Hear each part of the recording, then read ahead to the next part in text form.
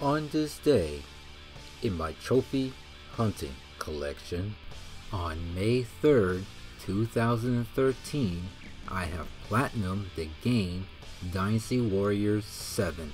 Don't forget to like, comment, subscribe, and stay tuned for another on this day in trophy hunting.